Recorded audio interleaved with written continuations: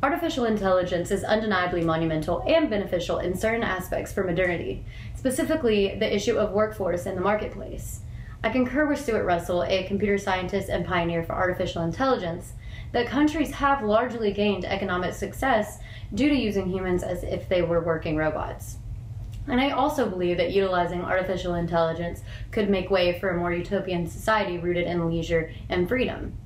Nevertheless, the market playing a significant role in these advancements of artificial intelligence is probably the most concerning aspect for me as well. Can we really ensure that these corporations are not feeding our mind private consumer data to computers as a tool to increase their intelligence for later manipulation and control? You know, obviously, there are positive outcomes to creating intelligent beings, or people would have never begun that endeavor in the first place. But I think that solely focusing on optimistic results is audaciously ignorant and a disservice to not only the future of artificial intelligence, but humanity as a whole we really must shift this conversation to what rules we truly want to give our machines and who we are giving control of such powerful technologies, as we really may later regret the consequences of our actions of today. Now, let me take a moment to further clarify my concerns uh, regarding regretting the consequences of our actions today because I think that our current societal paradigm regarding, regarding the handling of our private information is central in the future framework of artificial intelligence.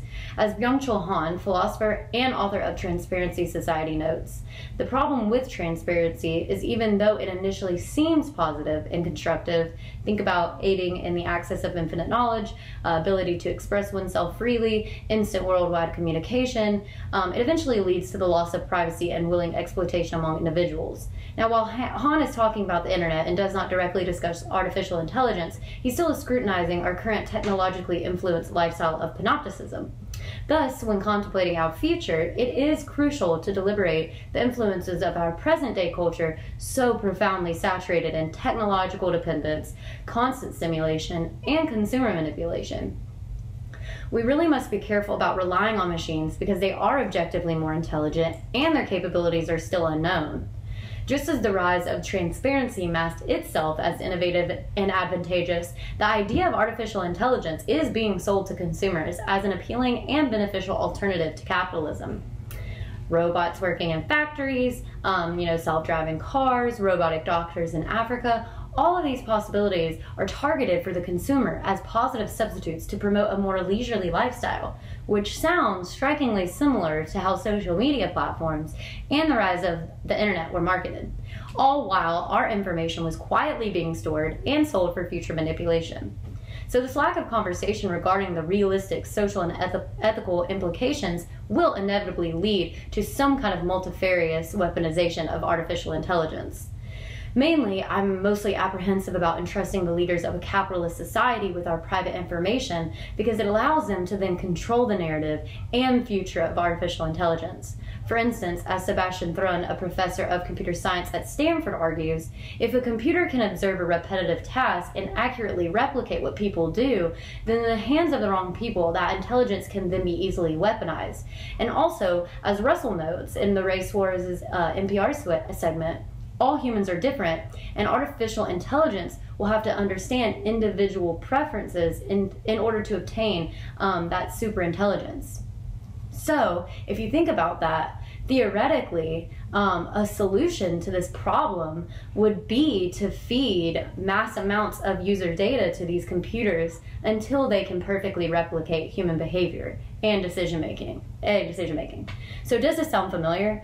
Um, lest we not forget of the quiet uprising of data mining and selling of our personal information, to which Jeremy Rifkin alludes to in his Biotech Century lecture, and the way in which it has ingrained itself into our economy with no consequence or regulation. So I think we must understand that if we live in a society that is rooted in capitalist culture, promoting complete transparency and exploitation, coupled with corporations who commoditize our private information, why would the future of artificial intelligence be any different than that? And I worry that we are not really realizing that by giving up all of our most sacred information, that we are allowing these corporations to sell us data for artificial intelligence to become more like humans. So the slow rise of data mining has desensitized our society into giving away our information. And then not only have we given companies like Google, Facebook, Instagram, TikTok, Amazon, Apple, um, the list can go on, the entirety of our private information. In some cases, we have even enthusiastically paid them to take it, like 23andMe and Ancestry.com. So, in the terms and agreements of these companies, it mentions that the information is never discarded. So, it really makes me wonder what their long term goal of storing copious amounts of private and biological information is.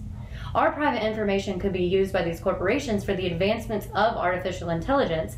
And if we are aware that computers are capable of exceeding human intelligence rather quickly, for instance, the computer um, who easily learned to outplay chess players within hours, how could we ever be confident we truly understand the workings of artificial intelligence, given that they are fed the entirety of human data?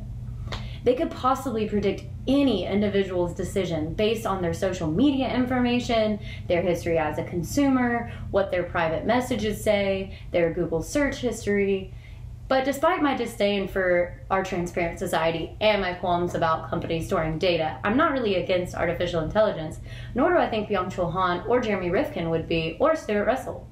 The most important thing I'm trying to say is that we really must hold these companies reliable and quit allowing ourselves to be exploited. I think people seldom think about the unintended consequences of transparency because we have purposely been gradually desensitized to it. But we need to remember that these corporations initially sold transparency as a positive function, and they will ultimately do the same for artificial intelligence.